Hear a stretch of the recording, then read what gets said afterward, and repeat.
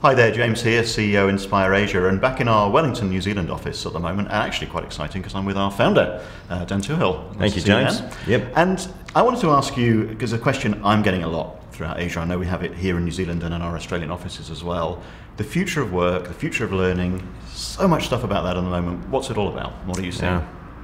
Uh, we're seeing a number of things, James, and it's a great question. So for us, clearly, learning design is in our DNA, and that's that's what we do.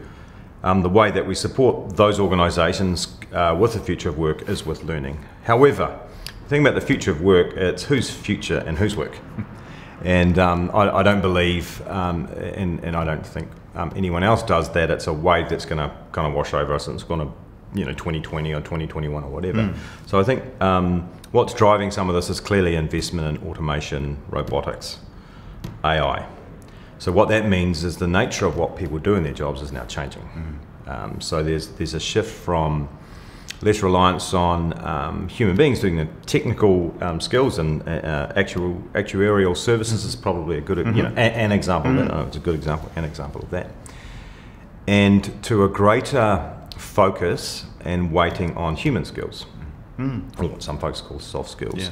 So we see those changes in many of the organisations we're working with. So, that, so that's one of the key things. Also, there are other um, technologies and tech stack, it's kind of a trendy way of saying that, that organisations can now introduce into their programs to augment the work mm-hmm. and also to augment the learning. Mm-hmm. Does that make sense? Yeah, yeah. Yeah, yeah, yeah. Mm. And so, yeah. Okay. Well, thank you. So, so it's a complex area, and, and what's sort of one thing that we're doing about it at the moment? Do you think? What's one thing, one one pain point we're seeing, even just here in Wellington? That's a good question. Mm.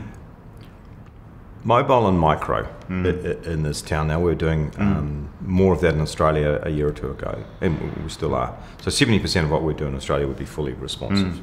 Works on mobile, works on tablet, works on on, on laptop for um, PC for digital learning starting to get more um, more of a requirement here in this mm. town. Um, and Chameleon, and I'm sure the guys will, will mm. talk about Chameleon more. That that is a tool that we're using to facilitate that. It mm. seems to be working pretty well.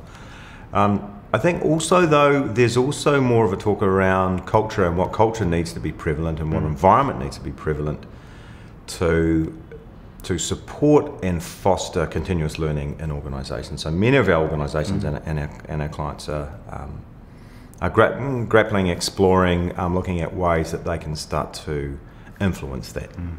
Yeah. Okay. Thank you, Dan. It's You're a complex area, but as ever, you simplify it, so that's great. Great to catch up with you. Thank yeah, you. Thank you.